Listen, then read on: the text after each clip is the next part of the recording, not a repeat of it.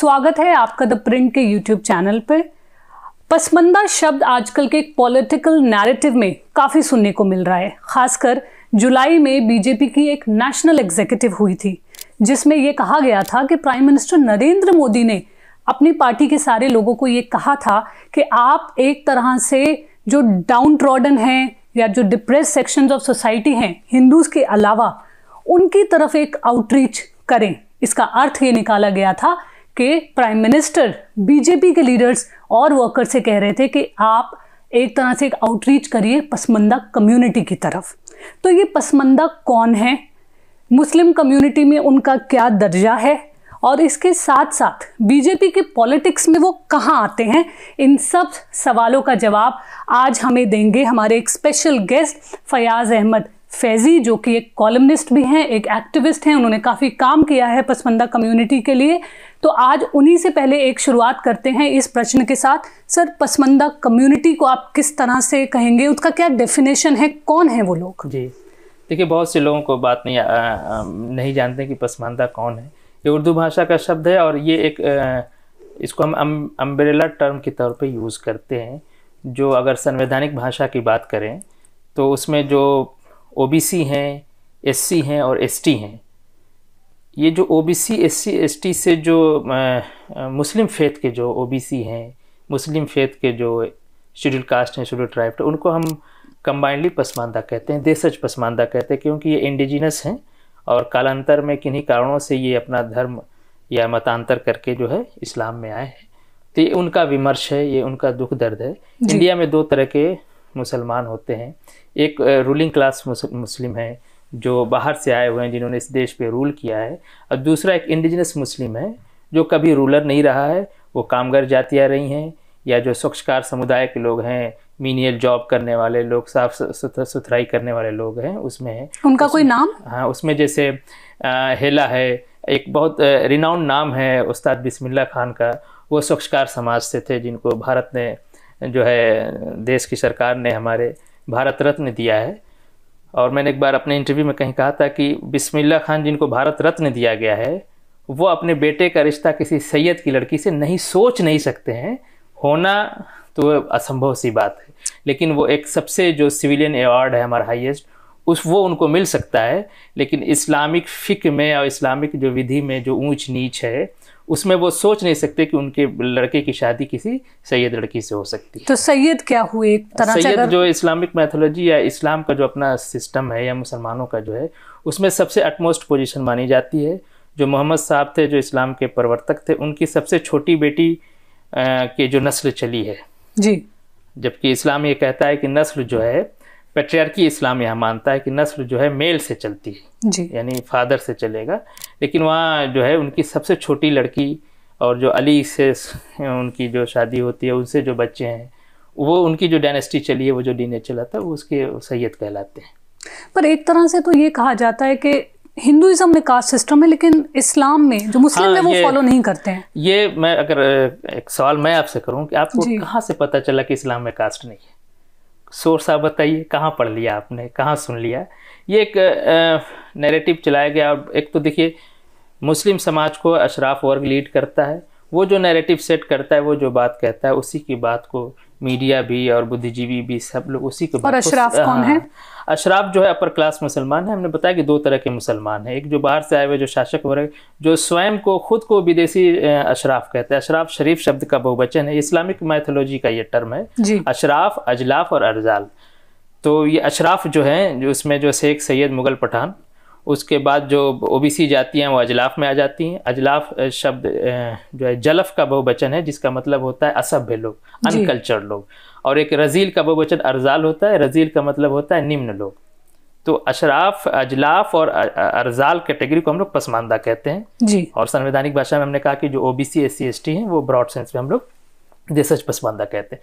तो अशराफ और मुस्लिम समाज को लीड करता है तो उसका जो नैरेटिव है, इस देश में मुसलमान का मतलब अशराफ वर्ग को ही माना जाता है, क्योंकि वो रूलिंग क्लास रहा है, उसको प्रिविलेज हासिल है, और जो भारतीय मूल के मुसलमान हैं, उनको उस तरह से नहीं वो होगा मैं हमेशा एक बात कहता हूँ कि इस देश में मुसलमान होने के जितने फ़ायदे हैं बहुत ज़िम्मेदारी से कह रहा हूँ, वो अशराफ वर्ग को है और इस देश में मुसलमान होने के जितने नुकसान हैं वो पसमानदा उठाता है जो देशज पसमानदा है मुसलमान। हमारा वो चाहे मॉब लिंचिंग में मार दिया जाए दंगे में मार दिया जाए या जो भी और भी जिस तरह के जितने नुकसान है मुसलमान के वो सब हम उठाते हैं। जितने फ़ायदा है इस देश में मुसलमान होने के सब अशराफ वर्ग उठाते हैं। या ये क्या कोई डॉक्यूमेंटेड है कि जो मॉब लिंचिंग या जो वायलेंस जो रिपोर्ट किया हम एक्सपोज हैं हम ठेला लगा के सब्ज़ी बेच रहे हैं। तो दंगा होगा तो हम तो पहले मारे जाएँगे। जी। जो एसी में बैठा है वहाँ तक तो जाते जाते आप जाएँगे। है ना? पहले जो सड़क के किनारे जो हमारी महिला बैठ के पत्थर का वो जो एक सिल बट्टा बना रही है वो दंगे की जद में पहले आएगी। हम ट्रेन में चल रहे हैं मॉब लिंचिंग हमारी आसानी से होगी। जी। है ना? गुजरात का दंगा इसलिए ज़्यादा हाईलाइटेड हो गया कि उसमें एक अशराफ मार दिया गया जो कांग्रेस पार्टी का एम पी था एहसान जाफरी नाम था अगर मुझे सही याद है। तो ज़्यादा हाईलाइट हुआ। है ना? वैसे इस देश में इतने दंगे हुए हैं, इतने पसमंदा मार दिए गए किसी का नाम याद तो छोड़ दीजिए। नंबर तक लोगों को नहीं पता है कितने पसमंदा मार दिए गए। गुजरात के दंगे में एहसान जाफरी का नाम सब जानते हैं, उसके लिए आज तक लोग मुकदमा, अच्छी बात है, कहीं कोई एट्रोसिटी होती है तो उसके लिए लड़ना चाहिए, लेकिन उसमें भुक्तभोगी हम होते हैं। दंगे का रिहेबिलिटेशन के लिए जब गवर्नमेंट प्रोसेस ले आती है तो उसमें अशराफ और उसका क्योंकि शासन प्रशासन के वो करीब है। जी। तो वो अपने हिसाब से उसको और अशराफ का जो कैरेक्टर है, उसका जो चरित्र, उसमें जो है बहुत जस्टिस और न्याय नहीं है। तो इसलिए वो, हम उसको सफ़र करते हैं और वो आप स्पष्ट रूप से कोई भी मुस्लिम संगठन में आप चले जाइए, चाहे मुस्लिम पर्सनल लॉ बोर्ड हो या वक्फ बोर्ड हो, कहीं भी आप जो अल्पसंख्यक और मुसलमान नाम से जितनी संस्थाएँ इस देश में, आप देंगे वहाँ सब अशराफ वर्ग मिलेंगे, जिनकी संख्या कुल मुस्लिम आबादी के टेन परसेंट से ज़्यादा नहीं है। वो रूलिंग क्लास है। और जो भारतीय मूल का मुसलमान है वो आपको कहीं नहीं दिखाई देगा। मुस्लिम पर्सनल लॉ बोर्ड में मैं समझता हूँ डेढ़ दो सौ मेंबर है। उसमें एक दो ढूंढे आपको भारतीय मुसलमान नहीं मिलेगा। एक अजीब विडम्बना इस देश में कि मुस्लिम पर्सनल लॉ बोर्ड को गवर्नमेंट भी और इस देश का जो इंटेलेक्चुअल तबका है वो भी मुसलमानों का प्रतिनिधि मानता है। यानी रिप्रेजेंटेटिव बॉडी उसको मानता है। और वो ऐसे भारतीय मुसलमानों की रिप्रेजेंटेटिव बॉडी है जिसमें एक भी भारतीय मुसलमान नहीं है। यानी पसमानदा नहीं है। अगर तो हम रोज़मर्रा की ज़िंदगी को देखें तो ये किस तरह से मैनिफेस्ट करता है? किस तरह से मतलब एक तरह से डिस्क्रिमिनेशन जो आप बात कर रहे हैं हम्म। वो कैसे होता है? देखिए मैं जहाँ ईद की नमाज़ पढ़ता हूँ अपने घर में घर जो हमारा घर है तो मैं ईद की नमाज़ पढ़ के जब बाहर निकलता हूँ तो एक लंबी सी लाइन होती है भीख मांगने वालों की। वो सब उसमें जो है नट और ये जो है गोरिया इस तरह की जो जातियाँ होती हैं मुसलमानों की वो होती हैं। ईद के दिन भी उनके तन पे जो है अच्छा कपड़ा नहीं है और उनकी हिम्मत नहीं कि मस्जिद के अंदर घुस के नमाज़ पढ़े। पर ऐसा कहा जाता है कि नमाज़ पढ़ने के लिए तो आपके साइड में कौन है कौन नहीं है इसमें कोई भेदभाव नहीं हाँ, है। हाँ. जी। तो देखिए ये सब कही सुनी बातें हैं और आप देखें कि आमतौर से स्पेशली जो पसमानदा में जो दलित समुदाय के लोग हैं मस्जिदों में आमतौर से उनका प्रवेश भी नहीं हो पाता है वो उनकी हिम्मत नहीं पड़ती जाने की। वो डरते हैं। और मैं एक आजमगढ़ में जब मैं असिस्टेंट प्रोफेसर था एक यूनानी कॉलेज में यूनानी मेडिकल कॉलेज में। तो वहाँ जो एक वो कहते हैं जो फोर्थ ग्रेड का प्यून था, उसका नाम इस्लाम था। तो वो स्वच्छकार समुदाय से थे और वो अजान देते थे, लेकिन जुमे के दिन अजान देने के बाद वो जो है पिछले सफ़ में चले जाते थे नमाज़ पढ़ने के लिए। तो हमने उनसे कहा कि जो आप आगे बैठे नमाज़ तो उन्होंने कहा कि नहीं, वो अपनी भाषा में नहीं, जिम्मेदार लोग नाराज़ हो जाएँगे। मतलब जो अपर क्लास मुसलमानों की तरफ़ कह रहे हैं कि ये लोग नाराज़ हो जाएँगे इसीलिए मैं अजान देते वक्त जुमे की अजान देते अगली सफ़ में अजान देता हूँ लेकिन जाके पीछे नमाज़ पढ़ता हूँ। तो ये आमतौर से अब दिखाई देता है और जो ओ बी सी जातियाँ हैं वो मस्जिदों में नमाज़ पढ़ लेती हैं लेकिन वहाँ भी आप देखेंगे जितने बड़ी मस्जिदें हैं जो शाही मस्जिदें हैं या जहाँ पे जहाँ के इमाम को प्रिविलेज हासिल है वहाँ सब अशराफ क्लास के मुसलमान आपको वहाँ इमाम मिलेंगे। लेकिन वो मस्जिदें जहाँ बस नमाज़ पढ़ा लेना कोई मतलब नहीं है, वहाँ आपको पसमानदा इमाम मिल जाएगा। एक एक बात और इसमें कह दूँ। जहाँ एक ऐसी मस्जिदें आपको भारत में बहुत मिल जाएँगी जहाँ पूरे साल जो पाँच वक्त की नमाज़ है वो पसमानदा इमाम पढ़ाता है लेकिन ईद और जुमा पढ़ाने के लिए अशराफ आता है नमाज़ पढ़ाने। क्योंकि जुमा में और ईद में बड़ी भीड़ होती है तो भीड़ को वो लीड करेंगे। लेकिन ऐसी कोई मस्जिद आप हमको नहीं दिखाएँगे इंडिया में नहीं मिलेगी आपको जहाँ साल भर अशराफ मौलाना नमाज़ पढ़ाए और ईद बकरीद की नमाज़ या जुमे की नमाज़ कोई पसमानदा पढ़ाता। तो ये खुलेआम डिस्क्रिमिनेशन है हम देखना नहीं चाहते हैं या हम देख के आँख बंद कर लेते हैं। वो ना शुतुरमुर्ग जो है ना वो रेत में अपना सर डाल लेता है वो समझता है कि बस कुछ नहीं है। तो वो इस तरह का कुछ भारतीय मुसलमानों में इस तरह का कुछ है कि अपनी बीमारी के लिए एक तो कंसिडर नहीं करना, दूसरा कंसिडर करना। जैसे कास्टिज्म है, ये कह देते हैं कि साहब, ब्राह्मणों से हमने सीख लिया, हिंदुओं से सीख लिया, एक साल से रह रहे ऐसा नहीं है, ये रेसिज्म वहाँ से लेके, अरब ईरान से लेके आए हैं। वहाँ वहाँ के समाज में भी ऊँच नीच था, इसीलिए मोहम्मद साहब को डिस्क्रिमिनेशन उनका ज़्यादातर जो है ना बर्थ बेस जिसको कहते हैं रेस के बेस पे था। क्योंकि वहाँ के जो एलिट यहूदी थे वो कहते थे कि नबी हमारे लीनियज में आता है हमारी नस्ल में नबी आता है इन चरवाहों में नबी कहाँ से आ गया?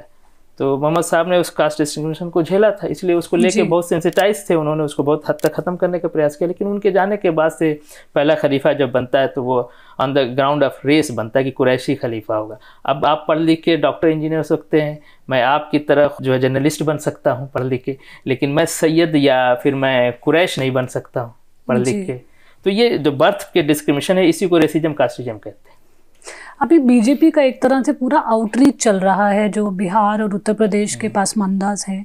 आप उसको किस तरह देखते हैं? क्यों बीजेपी ये कोशिश कर रहा है कि वो इनकी तरफ़ जाए या वो उनके एक वोट बैंक बने? इसके पीछे आपको क्या लगता है क्या है? देखिए मैंने इस पर एक आर्टिकल लिखा था मोदी की पसमानदा नीति पे आई चौक ने उसे पब्लिश किया था। मैंने उसमें इसको डिटेल लिखा है मैं शॉर्ट में आपको बताऊँ।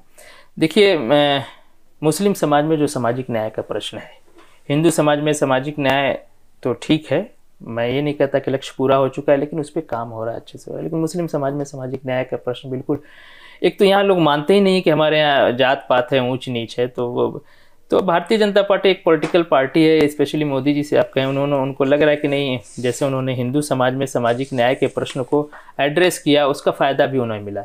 तो वो एक पॉलिटिकल पार्टी है पॉलिटिकल पार्टी जब शासन सत्ता में रहती है तो उसको एंटी इनकम्बेंसी का भी डर होता है तो उसको मैनेज कर लिए अपने वोटर्स को बढ़ाने के लिए भी वो कहीं ना कहीं तलाश करती रहती। तो उसको लगता है कि जिस तरह से हिंदू समाज में हमने सोशल जस्टिस की बात की और बहुत जो डाउन टूडन हिंदू थे सबल्टन थे या O B C S C हमारी तरफ़ जुड़े। अगर मुस्लिम समाज में भी हम सामाजिक न्याय की बात करते हैं तो हमें मिल सकता है हम्म। उनके पॉइंट ऑफ़ व्यू से। दूसरी चीज़ मेरा एक स्टैंड मैंने ये भी कहा था कि जो आदमी दो बार बिना पसमानदा के वोट से प्रधानमंत्री बन गया, वो तीसरी बार भी बन जाएगा।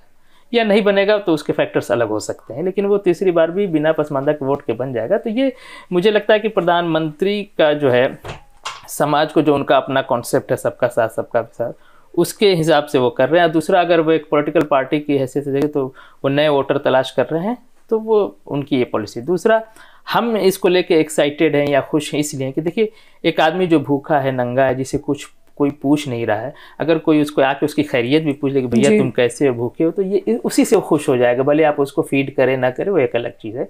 तो चूँकि हम मुस्लिम समाज में जो सामाजिक न्याय नहीं है उससे हम पीड़ित हैं। हम जो रेशियल डिस्क्रिमिनेशन है हमारा जो कास्ट बेस पे डिस्क्रिमिनेशन है जो हमारा कल्चरल डिस्क्रिमिनेशन भी जैसे हमारी माँ साड़ी पहनती है तो हमें ये बताया जाता है कि साड़ी जो है हिंदुआना है सिंदूर हिंदुआना है तो हमारा जो कल्चरल डिस्क्रिमिनेशन भी है तो हमें एक अपराध बोध होता है कि साहब हम उर्दू नहीं बोल पाते हैं। तो उर्दू अच्छी उर्दू बोलने वाला, बिरयानी खाने वाला, शेरवानी पहनने वाले कोई मुसलमान समझा जाता है। हमारा कल्चर अलग है तो हमारी औरतें साड़ी पहनती, मेरे पिताजी धोती पहनते थे, मेरे दादाजी धोती पहनते थे। तो ये एक अपराध बोध हमारे डेरा जाता तो ये जो रेशियल और कास्ट बेस्ड जो डिस्क्रिमिनेशन के साथ साथ हमारा कल्चरल डिस्क्रिमिनेशन भी है, उसके अगेंस्ट हम स्ट्राइव कर रहे हैं, मेहनत कर रहे हैं। और सोशल जस्टिस से होगा तो प्रधानमंत्री ने जब ये पहल किया है अब देखिए उनके पहल करने से ये फ़ायदा हमारा ये है वो कम से कम पसमानदा लोग जानने लगे हैं हम्म। है ना कि हाँ भाई ये है मुस्लिम समाज में इसकी ज़रूरत है तो हमारा विमर्श निकल के ऊपर आया तो हम इसको बहुत पॉजिटिव समझते हैं प्रधानमंत्री की इस पहल को बहुत पॉजिटिव समझते हैं और देखिए अभी आ, मेरे पास अभी खबर आई कि बिहार में भी एक पसमानदा को मिनिस्टर बनाया गया है। तो मैं समझता हूँ कहीं ना कहीं प्रधानमंत्री की इस पहल की वजह से हुआ कि जो राजनीतिक पार्टियाँ हैं उनको लगता है कि यार सोशल जस्टिस की इशू बीजेपी कवर न कर ले और अब तक जो जो हम्म। पसमानदा अब तक जो सेकुलर पार्टियों का वोटर रहा है उत्तर प्रदेश की विधानसभा में सात आठ परसेंट बीजेपी भी मानती है कि वोटर पसमानदा ने हमें वोट दिया है। जो मुस्लिम वोट है, वो पसमानदा वोट है। तो उसकी जब टसल होगी तो उसमें मैं इसको अच्छा समझता हूँ कि प्रधानमंत्री ने इसको पहल की। और सोशल जस्टिस एक अच्छी चीज़ है, एक एक जो है जस्टिस की डिमांड है, न्याय की डिमांड है। वो सिर्फ़, मैं हमेशा एक बात कहता हूँ कि इस देश के तथाकथित जो अशराफ हैं या सेकुलर लिबरल जो इंटेलेक्चुअल हैं, उनको देश सेकुलर चाहिए। और सामाजिक न्याय कम्युनल चाहिए वो हिंदू समाज में सामाजिक न्याय की बहुत बात करते हैं। मुस्लिम समाज में सामाजिक न्याय की बात आती है तो उसको इग्नोर करते हैं। ये अच्छी बात नहीं, ना राष्ट्र के लिए, ना पसमानदा समाज के लिए। ये किसी के लिए अच्छी बात नहीं एक देश के नागरिक की हैसियत से अगर हम कहें तो हमारे देश के लिए सामाजिक न्याय इस्टेब्लिश होना चाहिए। उसमें सेकुलर रूप में होना चाहिए उसका ढांचा। ऐसा नहीं कि आप सिर्फ़ हिंदू समाज में सामाजिक न्याय करें और सिख को और और जो मुस्लिम को और जो क्रिश्चियन में भी इस तरह की चीज़ें हैं। उसको अपने को कर दे तो ये बहुत जस्ट और जस्टिस की बात है। लेकिन अगर हम पूरा एक परसेप्शन जो देखें वो ये है कि मुस्लिम्स बीजेपी के लिए वोट नहीं करते। तो उस एक बैकग्राउंड में ये आउटरीच कैसा रहेगा? प्लस अगर पासमानदास सच में बीजेपी को सपोर्ट करने लगेंगे तो उनका एक स्टेटस पूरे कम्युनिटी में एज अ मुस्लिम कम्युनिटी में क्या होगा? हम्म। देखिए अच्छी बात है एक जो मिथ बना हुआ है और एक सेकुलर देश है तो फिर किसी पार्टी को एंटी मुस्लिम या इस तरह की जो नैरेटिव सेट होना ये अच्छी बात नहीं। देश हित में नहीं है कि हम किसी पार्टी को हिंदू पार्टी कह दें किसी पार्टी को मुस्लिम पार्टी कह दें। सब सेकुलर पार्टी होनी चाहिए। अगर पसमानदा अगर कोई भारतीय जनता पार्टी के ऊपर लेबल लगा है मैंने उसमें अपने आर्टिकल में भी बात कही थी कि ये जो एंटी मुस्लिम का लेबल जो लगा है अपने क्वेश्चन अच्छा कि उससे मुझे बात याद आ गई। वो भी धुल जाएगा। यानी बीजेपी के ऊपर जो लेवल लगा है वो भी धुल जाएगा। जब उसको मुस्लिम वोट देंगे या, जो पसमानदा को वो जब अपने उस पार्टियों में जगह देगी या जो भी राजनीतिक एतबार से जैसा एक सिस्टम है संगठन में जगह देना और जब सरकार उसमें जगह देना तो ये एक तो अच्छी बात हो जाएगी। अगर भारतीय जनता पार्टी का वो जो है कहते हैं धर्म निरपेक्षीकरण होता है तो अच्छी बात है ना। और पसमानदा वोट क्यों नहीं देगा? जब आप किसी के सुख दुख में खड़े होते हैं तो वो भी आपसे जुड़ता है। हमने जो है यादव समाज से ज़्यादा दुगने मात्रा में वोट पसमानदा समाज ने समाजवादी पार्टी को उत्तर प्रदेश के इलेक्शन में दिया था। लेकिन उसने उन्होंने चलिए सरकार नहीं बनी संगठन में तो जगह देना चाहिए। हम यादव से ज़्यादा हमारी आबादी भी यादव से ज़्यादा सोलह प्रतिशत के आसपास उत्तर प्रदेश में पसमानदा बसते हैं। और यादव समाज में समझता हूँ सात आठ परसेंट ऐसा होगा तो जस्ट डबल है। हम वोट भी आपको डबल दें और आप हमारे लिए कुछ करें भी नहीं। सोशल जस्टिस की बात है, भागीदारी देने की बात है। तो अगर कोई पार्टी आगे बढ़ के उसको एड्रेस करती है तो समाज भी जुड़ेगा। ये बिल्कुल डेफिनेट बात है। और उदाहरण के तौर पे क्यों जुड़ेगा? जिस जिस तरह से हिंदू ओबीसी जुड़ा, भारतीय जनता पार्टी से, हिंदू शेड्यूल कास्ट भारतीय जनता पार्टी से जुड़ा। और हिंदू ट्राइब जुड़ा उसी तरह से Muslim, OBC, Muslim schedule caste, Muslim schedule tribe जिसको हम देशज पसमानदा कहते हैं, वो भी जुड़ेगा। जब देखिए, हित जिसका जहाँ पूरा होगा, जहाँ हमारी बात सुनी जाएगी, हम वहाँ ज़रूर जाएँगे तो ये होगा, ऐसा नहीं है। और वो जब, अगर जब आपने जब पूछा कि अगर वो बीजेपी को वोट देता है तो मुस्लिम समाज में उसकी क्या पोजीशन होगी? हमें तो मुसलमान अशराफ और ऐसे ही नहीं मानता है। है ना? अगर वो हमें मुसलमान मानता, अपना भाई समझता तो मुस्लिम पर्सनल लॉ बोर्ड में हमें भी बता नहीं मुस्लिम पर्सनल लॉ बोर्ड में या नीति निर्धारण जहाँ आप करते हैं, वहाँ हमें रखते हैं तो कम से कम मदरसे के दरबान भी हमारे यहाँ कोई दलित पसमानदा आपको नहीं मिलेगा। हिंदू समाज में सामाजिक न्याय का स्तर है कि वहाँ दलित समाज से आने वाला मुख्यमंत्री भी बनता है, राष्ट्रपति भी बनता है। तो हम इतने पीछे हैं सोशल जस्टिस में। तो जुड़ेगा जो भी इसको एड्रेस करेगा हमारे सुख दुख को जो भी एड्रेस करेगा हम उसके साथ जुड़ेंगे। और एक बात कह के मैं इसका ख़त्म करूँगा कि हिंदू और पसमानदा पिछले पाँच हज़ार साल से अगर इस मान लिया जाए कि पाँच हज़ार साल से भारत है तो पाँच हज़ार साल से एक साथ रहने के अपने तमाम विभिन्नताओं के बाद जितने डिफरेंसेस है चाहे लैंग्वेज का डिफरेंस हो चाहे फेथ का डिफरेंस हो कल्चर का डिफरेंस उसके साथ रहने का वो आदि है। भले ही वो कुछ समय पहले मुसलमान हो गया लेकिन खूब आराम से वो मिलजुल के रहता है। तो पहले से उसका इस तरह का गुधा हुआ मामला है। तो पॉलिटिक्स में भी ये चीज़ दिखाई दे सकती है। मैं मैं हमेशा हिंदू पसमानदा एकता की बात करता हूँ। तो वो दिख सकता है और उसमें एक छवि भी, पार्टी की भी अच्छी बनेगी, समाज की भी अच्छी बनेगी और एक, जो हम एक सेकुलरिज्म का कॉन्सेप्ट लेके चलते हैं, वो भी इंडिया में भी छवि इसकी बहुत अच्छी बनेगी। हाँ जब नब्बे प्रतिशत मुसलमान की अगर कोई पार्टी बात करती है तो एंटी मुस्लिम कैसे हो जाएगी? लेकिन काफ़ी लोगों का ये भी कहना है कि जो ये आपका व्यू है ये एक तरह से बायस्ड है एक तरफा है क्योंकि कई लोग आपको कहते हैं आप बीजेपी के एजेंट हम्म, हैं। हम्म। तो इसलिए आप ये सारी बातें कर रहे हैं। जी। जी। हाँ देखिए मेरे ऊपर कहते हैं कि आप जो है राइट विंग के चैनल्स पे जाते हैं। जी। मैं अपनी बात कहता हूँ। जो मेरा दुख है जो मेरी सफरिंग है मैं मेरी माता बहुत ही एक बंगाल से है वो और वो मतलब बहुत आ, कहते बहुत पैसे वाले घर से थी मेरे नाना जी बहुत पैसे लेकिन वो मेरे पिताजी टीचर थे एक एल डी ग्रेड के टीचर थे वो हाई स्कूल के बच्चों को पढ़ाते थे। तो मैं थोड़ा सा भावुक हो जाता हूँ। हमारी माँ एक चरपाई पे हम तीन भाई बहनों को लेके रात में सोती थी बरसात। तो वो मैंने देखा है वो दर्द को। तो मैं रात भर वो जागती थी और खपरेल का घर था हमारा, पानी टपकता था तो कभी हमारा पैर ठीक करती थी, कभी हमारे छोटे भाई का। तो इस दुख को हम रोते हैं और हमें जहाँ जगह मिलता है, हम कहते हैं। तो आप उसको संघी कह दें या भाजपा कह दें तो ये आप हैं, आप जो चाहें, हैं? जुनू का नाम, खिरद खिरद का नाम जुनू रखा, जो चाहे आपका हुस्न, करिश्मा, साज करे। आप जो कह लें, हम अपना दुख दर्द रो रहे हैं। अब आपको लगता है, देखिए, जो हिंदू की बात है या जो पसमानदा एकता की बात है इस देश में वो सदियों से साथ रह रहे हैं। उनका फेथ कुछ भी है और भारत एक इतना सुंदर देश है कि यहाँ सब साथ रहने के अभ्यस्त हैं। हम जब बड़े होते हैं ना तो हमारे पापा के दोस्त सिख भी होते हैं, हिंदू भी होते हैं, ब्राह्मण भी होते हैं, दलित भी होते हैं तो हमें वो बचपन से हम उसमें रहे तो हमें वो फ़र्क समझ में नहीं आता है। अशराफ बाहर से आया हुआ है और वो मोनोलिथ समाज से आया है। उसका एक तरह का कल्चर था और वहाँ वॉइस ऑफ़ डिसेंट को स्वीकारता नहीं है। वहाँ तलवार का कल्चर वो अपने विरोधियों की तलवार से हमारे यहाँ शास्त्रार्थ का कल्चर है। तो पसमानदा उसी कल्चर का है। हमने कहा था ना हमारा कल्चरल डिस्क्रिमिनेशन भी है। तो पसमानदा उसी कल्चर का है तो उसमें साथ अब मैं उस बात को कहता हूँ मुझे ये कहता कि आप वैसा ही मुसलमान बनाना चाहते हैं जैसा संघ चाहता है। हमने कहा वैसा मुसलमान बनाना है हम बता रहे हैं। हम भोजपुरी मैं मेरी मदर टंग भोजपुरी है। मैं भोजपुरी बोलता हूँ मैं कैसे कह दूँ कि मैं उर्दू बोलने वाला? तो मैं झूठ बोल रहा हूँ कि उर्दू में। मैं एक मज़े की बात बताऊँ तो मैं, मैं जब आंध्र प्रदेश में मैं एम कर रहा था doctor N university of health sciences Vijayawada से तो एक प्रकाशम डिस्ट्रिक्ट है, मैं वहाँ गया था। तो मेरी थोड़ी सी दोस्त था तो हमने पूछा कि आपकी मदर टंग क्या है? आपकी मातृभाषा क्या है? तो उसके बगल में लड़का खड़ा था, उसने तेलुगु में उस बच्चे से पूछा कि क्यों हम लोग की तो मदर टंग तो उर्दू है ना? तो उसने कहा हाँ हमारी मदर टंग उर्दू है। तो वो मुझे कहा कि नहीं, हमारी मदर टंग उर्दू है। ये बात उसने हिंदी में कहा कन्फर्म तेलुगु में किया। तो आप ये समझ सकते हैं कि उर्दू का इम्पोजिशन हमारे ऊपर किस तरह से मैं उसको बता रहा हूँ, ये समाज में है। अब आप संघी कह ले, वो कह ले। दूसरी चीज़, मैं भारतीय जनता पार्टी की जो वो है, मुझे लग रहा है कि एक पॉजिटिव उसका असर भी दिखाई देगा। मैंने बताया कि बिहार में भी एक पसमानदा को मंत्री बनाया गया है।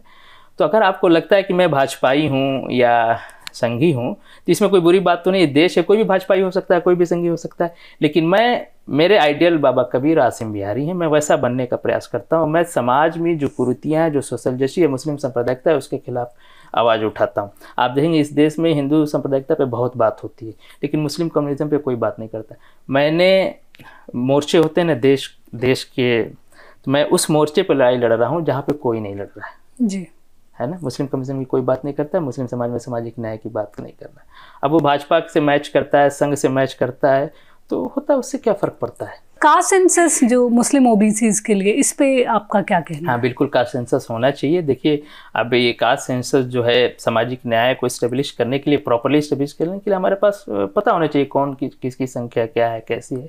हम उन्नीस सौ इकतीस की जनगणना से काम चला रहे हैं। लेकिन हम हम इस मामले में भी हम कहते हैं कि पहले अगर पूरी पूरे भारतीय समाज की जो है कास्ट गिनती करना मुश्किल हो रहा है तो पहले मुस्लिम समाज की आप गिन लो। जी। उसके पीछे मेरा लॉजिक ये है कि हिंदू समाज में सोशल जस्टिस कुछ न कुछ हद तक इस्टेब्लिश किया गया है। एक अच्छी दिशा में लोग हैं मुस्लिम समाज में बिल्कुल ज़ीरो। तो पहले मुसलमानों की जातियों की गिनती कर लो फिर हिंदुओं की करना अगर संभव नहीं हो पा रहा है। लेकिन मैं इसके फेवर में हूँ। मैंने इस पर एक आर्टिकल भी लिखा था द प्रिंट ने भी उसे छापा द ट्रिब्यून ने भी कुछ साल पहले छापा था। हमें लगता है पिछले साल छापा था कि उसमें होना चाहिए। और कास्ट सेंसस में एक, एक बात मैं और जोड़ दूँ। आप एक बड़ा डिटेल कास्ट सेंसस का आप कहें कि वो छपा था। मुझे नाम नहीं याद आ रहा है उनका। तो उन्होंने मेरा स्टेटमेंट उसमें डाला था। देखिए जो कास्ट सेंसस की बात हो ओबीसी जातियों की बात होती है। शेड्यूल कास्ट शेड्यूल ट्राइब की गिनती होती है। जो Hindu schedule schedule caste schedule tribe है उनकी गिनती होती है। ये जो कास्ट सेंसस की बात है सिर्फ़ अदर बैकवर्ड क्लास की। लेकिन आप मुस्लिम समाज में आएँगे तो हमारे दलित और हमारे हमारे जो आदिवासी हैं जो या हमारे शेड्यूल कास्ट हैं या हमारे शेड्यूल ट्राइब हैं उनकी गिनती नहीं होती है। हम्म। तो ये श्योर होना चाहिए कि जो पूरे पसमानदा की गिनती हो यानी ओबीसी मुसलमान की भी गिनती हो शेड्यूल कास्ट की भी गिनती हो शेड्यूल ट्राइब की हो। सिर्फ़ ओबीसी की गिनती ना हो। तो ये हमारे दो उसके कंसर्न है उसमें उसको और रिजर्वेशन आपको क्या लगता है होना रिजर्वेशन तो हमको मिल ही रहा है। देखिए रिजर्वेशन पे मैं, मैं आपको बात बताऊँ। जब कॉन्स्टिट्यूशन ड्राफ्ट असेंबली की मीटिंग चल रही थी जब संविधान बनाया जा रहा है तो उसमें सब अशराफी थे। उन्होंने बड़ा बुरे शब्दों में आरक्षण को डिफाइन किया है कि ये कुछ कुत्ते की हड्डी है भीख है और हमने भी बचपन से उर्दू मीडियम इस बात के हमको आरक्षण नहीं चाहिए और ये है वो मुसलमान में सब बराबर हैं। देखिए उसमें 341 का जो पैरा तीन है जो मुस्लिम दलितों को जो है तीन सौ इकतालीस से बाहर का शेड्यूल कास्ट में हम नहीं आते। हम हम अदर बैकवर्ड क्लास और शेड्यूल ट्राइब में हम आते हैं। तो ये चला वहाँ पे तो वहाँ इन लोगों ने आरक्षण का विरोध किया। अब आप देखिए अशराफ का चरित्र समझिए। उसके बाद जब मंडल कमीशन आया मंडल कमीशन ने सेकुलर रूप में ओबीसी को आरक्षण दिया। यानी उसमें जो मुस्लिम धर्मावलंबी पिछड़े हैं, दलित हैं, वो भी उसमें आ गए। शेड्यूल ट्राइब को पहले से मिल रहा था। आपने देखा, उसी वक्त जब मंडल कमीशन लगा है तो जो अशराफ क्लास है, जो मुस्लिम समाज को लीड करता है, उसने आरक्षण, मुसलमानों की आरक्षण की बात को शुरू किया। आप लोगों ने देखा होगा उसमें कि जो है, मुसलमानों को आरक्षण चाहिए, मुसलमानों। अब वो चूँकि मुस्लिम समाज को लीड करता है, पसमानदा में एजुकेशन नहीं होना तो ये चाहिए था कि जो मुस्लिम समाज को लीड करता है अशराफ और वो अपने पसमानदा को बताए, अपने ओबीसी को बताए कि देखो तुमको आरक्षण मिल रहा है, इसका फ़ायदा उठाओ। मैं बीएससी में एडमिशन कराने गया तो उस वक्त तो मेरा ओबीसी का सर्टिफिकेट नहीं था, हम जानते भी नहीं थे। हमारे चाचा के दोस्त जो हिंदू थे, उन्होंने बताया कि मनोवर साहब, इनका जो है आप ओबीसी का सर्टिफिकेट बना दीजिए एडमिशन जल्दी हो जाए। तो आप समझिए कि इस तरह की हमारे यहाँ जागरूकता का अभाव था। तो वहाँ से उन लोगों ने मुस्लिम आरक्षण का खेल खेला। पहले आरक्षण जो है, कुत्ते की हड्डी है, भीख है, इस तरह की डेरोगेटिव टर्म से उन्होंने कॉन्स्टिट्यूशन ड्राफ्ट असेंबली करिए मौलाना आज़ाद के पोते, उन्होंने एक लेख भी लिखा है इस पर जो मौलाना आज़ाद के ऊपर हमने एक लेख लिखा, उसमें हमने उसका उसका, उसकी चर्चा किया है। अब पसमानदा भी जिसको ओबीसी और एसटी का आरक्षण मिल रहा है, वो भी धूप में दिल्ली में आके नारा लगा रहा है कि मुसलमानों को आरक्षण दो, मुसलमानों का उस बेवकूफ़ को पता ही नहीं कि पहले से उसको ओबीसी का और एसटी का आरक्षण मिल रहा है। तो इस तरह का जो अशराफवाद हमारे ऊपर है, हम पहले से आरक्षण में आ रहे हैं, जो नब्बे प्रतिशत मुसलमान जब आरक्षण की कैटेगरी में आ गए तो वो कौन से मुसलमान हैं जिनके लिए आप आरक्षण मांग रहे हैं? और धर्म के नाम पर तो आरक्षण होगा नहीं। तो अशराफ वर्ग में हमेशा अशराफ वर्ग का डिमांड ही ऐसा होता है जो मानी ना जा सके। वो धर्म के आधार पर आरक्षण चाहिए उसको। और मैं थ्री फोर्टी वन की भी बात करता हूँ। तो और उसके बाद जब इकोनॉमिक वीकर सेक्शन में जी। जब आरक्षण हो गया अब अशराफ वर्ग मुस्लिम का आरक्षण नहीं मांग रहा है। क्योंकि भाईजान को अब मिलने लगा है। ये सऊदी अरब में जाके 20 लाख रुपए कमाते हैं या 8 लाख से कम का सर्टिफिकेट बना के यहाँ ले रहे हैं। अब इनको मुस्लिम आरक्षण नहीं चाहिए क्योंकि भाईजान खुद आरक्षण में आ गए। वरना पहले वैसी ने कितने स्पीच दिए कि मुसलमानों को आरक्षण किसको धोखा दे रहे हो आप? जब आरक्षण तो उसको मिलेगा ना जो सोशियो इकोनॉमिक आधार पे जो पीछे रह गई जाती है, उनको आरक्षण दे रहे हैं। जो शासक वर्ग उसको क्यों आरक्षण चाहिए? तो मुस्लिम आरक्षण इसीलिए छेड़ा गया था कि ये जो पसमानदा को आरक्षण मिला, वो खत्म हो जाए, और नहीं तो हमें भी उसमें आरक्षण में शामिल करें। अब मैं आजकल आजकल मोदी जी ने जब से इसको छेड़ा है तो अशराफ वर्ग और उसके भ्रम में कुछ पसमानदा एक्टिविस्ट भी आ गए हैं कि 341 का आरक्षण यानी हमको शेड्यूल कास्ट का भी आरक्षण दिया जाए, अगर मोदी जी की नीयत सही है। तो वो इस तरह की ऐसी डिमांड कर रहे हैं जो ये माना जाता है कि ये बड़ा मुश्किल काम है। तो मैं ये अशराफ और चारा उसमें थोड़ा सा हिंदू मुसलमान बनता है कि हिंदू अच्छा एक झूठ फैलाया जा रहा है समाज में कि हिंदू दलितों को आरक्षण है, मुस्लिम दलितों को आरक्षण, ये झूठ बात है। आरक्षण है, ओबीसी के आरक्षण है। हमारी जो लड़ाई है, वो कैटेगरी बदलने की लड़ाई है कि जो जिस तरह से 341 को जो पैरा तीन पे लगने पे जो मजहबी पाबंदी लगी उसके ऊपर, यानी इस वक्त मैं समझता हूँ, ईसाई और मुस्लिम दलित बाहर हैं। उसमें उसमें किया जाए तो कैटेगरी बदलने की बात। हम ओबीसी के आरक्षण में आ रहे हैं तो होना ये चाहिए कि ओबीसी के आरक्षण में जो विसंगतियाँ हैं वो दूर करना चाहिए। बहुत सी हमारी ऐसी ओबीसी जातियाँ हैं जो ओबीसी में लिस्टेड नहीं है ना ना केंद्र के लिस्ट में लिस्टेड है ना राज्यों के लिस्ट में। बहुत से ऐसे हमारे ट्राइब हैं जैसे मेव हैं हमारे वो शेड्यूल कास्ट शेड्यूल ट्राइब में नहीं आते। देखिए शेड्यूल ट्राइब में आप थोड़ा सा मेहनत करेंगे या जो उसके आयोग वहाँ जाके बात करेंगे, भाई, ये ये ये कास्ट है, इसकी भी, ये ट्राइब है, इसकी भी उसी तरह सोशो इकोनॉमिक कंडीशन तो वो उसमें आसानी से हम उस लिस्ट में दाखिल करवा सकते हैं. लेकिन जहाँ दरवाज़ा बंद करना है, बंद है, उसको खोलना और ये फैलाना कि मुस्लिम दलितों का ये झूठ बात भी से का है कैटेगरी बदलने की बस बात। लेकिन अशराफ वर्ग इसको आजकल इसलिए हवा दे रहा है कि उसमें हिंदू मुसलमान होता है। अशराफ वर्ग का शुरू से इस देश में रहा है कि वो हर चीज़ में हिंदू मुसलमान करता है, कम्युनलिज्म को लेके आता है। है ना? उसको बंदे मात्र में भी हिंदू मुसलमान दिखता है। अभी आरक्षण में तो दिखेगा ही दिखेगा। तो इसमें कुछ हमारे पसमानदा एक्टिविस्ट भी दिग्भ्रमित हो गए तो हमारी ये डिमांड है, लेकिन उससे पहले जो मुस्लिम संस्थाएँ अलीगढ़ मुस्लिम यूनिवर्सिटी है, उसके कोर्ट जो उसका कोर्ट कहलाता है, जो उसको गवर्निंग बॉडी है, साढ़े तीन सौ मेंबर उसमें एक भी पसमानदा नहीं। हम वहाँ पसमानदा चाहते हैं। जामिया मिलिया इस्लामिया में, अलीगढ़ जो मुस्लिम पर्सनल जो भी इस तरह के अल्पसंख्यक समुदाय के नाम से जो वहाँ पर हमें सूचित कर दिया। सोशल जस्टिस की शुरुआत घर से शुरू किया जाए। अगर आपको लगता है कि मुसलमानों में है तो मुस्लिम पर्सनल बोर्ड से आप शुरू कीजिए। आप सरकार से लड़ाने के लिए हमें इस तरह की बात कर रहे हैं। जी, जी। मैं एक आखिरी प्रश्न करूँगी कि आपने कहा कि बीजेपी की तरफ़ अगर पसमंदा जा रहा है तो उसमें कोई मतलब ऐसी कोई बात नहीं है। आप इस बैकग्राउंड में नुपुर शर्मा की ये कंट्रोवर्सी को कैसे देखते हैं? जो ये पूरा उन्होंने जो एक कमेंट किया था प्रॉफिट मोहम्मद पे और उसके बाद बीजेपी का काफ़ी लंबे समय तक उस पर कोई रिएक्शन नहीं आया था और बाद में उन्होंने इसको कंडेम किया था। हम्म, देखिए मैं एक समाज विशेष से आता हूँ और समाजार्थ के के लिए जो फ्रूटफुल होता है मैं उसकी बात करता हूँ। जी। मैं राजनीतिक आदमी तो हूँ नहीं न सत्ता पक्ष में हूँ न विपक्ष में हूँ। जो। पॉलिटिकल लोग हैं वो बीजेपी की आलोचना करे या बीजेपी के साथ जाके सरकार बनाए। हम तो समाज को हमारे समाज का जो समाजार्थ जहाँ पे सिद्ध होगा वहाँ वो इस तरह की बात करें। नुपुर शर्मा वाली बात में देखिए मुस्लिम कम्युनिज्म हमने पहले भी अपनी बात में कहा था मुस्लिम संप्रदायता को एड्रेस नहीं किया जाता है ठीक है? तो नुपुर शर्मा या इस तरह की कोई बात हो कोई भी डिरोगेटरी टर्म किसी भी धार्मिक भावना को आहत करता है ये अच्छी बात नहीं है। और हमारे यहाँ इसके लिए कानून है दो सौ एक वो है ना धारा दो सौ पंचानवे ए है शायद अगर मैं सही हूँ तो आप उसको करेक्ट कर लीजिएगा। वो इस तरह की धार्मिक भावनाओं का आहत करने के लिए कानून है। अब ब्लासफेमी उसको फांसी दे दो ये कर दो ये पाकिस्तान नहीं है ये सऊदी अरब नहीं है यहाँ पे एक सिस्टम है एक संविधान है हमारा एक सिस्टम है। पसमानदा इस देश का उस सिस्टम पे भरोसा करता है। उसकी कोई भी गलती करता है, चाहे वो निपुर शर्मा हो, चाहे आप हो, चाहे हम हो तो हमारे यहाँ जो कानून है, उस कानून सम्मत कार्रवाई होनी चाहिए। आप फांसी क्यों दे दोगे, तलवार से क्यों काट दोगे? क्या ये वो चल रहा है क्या? मैं, देखिए, अशराफ का क्या सिस्टम है? वो मध्य युगीन मानसिकता में जीता है और हमें भी मध्य युगीन फ्यूडल मानसिकता में रखता है। वो इस्लाम के अकॉर्डिंग में नहीं चलता है, ठीक है ना? और ये जो आहनत रसूल की बात, इस पर एक बात कहता हूँ टेक्निकल चीज़ें हैं। देखिए, कुरान में अगर हम मोहम्मद वसल्लम उनकी शरीयत और उसकी बात करें तो कुरान में बहुत सी चीज़ों की सज़ाएँ लिखी हुई जैसे चोरी करने पे हाथ काट देना, या और भी जो ताजीरात है, उसमें लिखे हुए हैं। लेकिन ये जो आहनत रसूल, यानी गुस्ताख रसूल, यानी प्रोफेट को अपमानित करना, इसके लिए कुरान में आयत है कि अल्लाह कहता है कि आपका कोई अपमान करता है तो आप इसकी चिंता ना करो, इसके लिए हम काफ़ी हैं।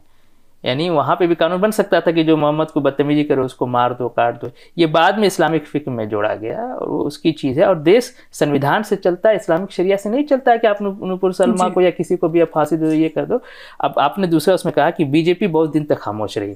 वो पॉलिटिकल पार्टी है उसका क्या है कैसा है? हम हम हम तो सीधी सी बात करते हैं किसी की भी धार्मिक भावना को कोई आहत करे तो भारतीय संविधान में और यहाँ जो लॉ एंड ऑर्डर में जो कानून है उस कानून के हिसाब से उसको होना चाहिए शरिया के हिसाब से नहीं और मनुस्मृति के हिसाब से नहीं होना चाहिए सीधी सी बात। हमारे साथ बातचीत करने के लिए बहुत बहुत धन्यवाद। थैंक यू फॉर वॉचिंग आपका बहुत बहुत धन्यवाद नमस्कार।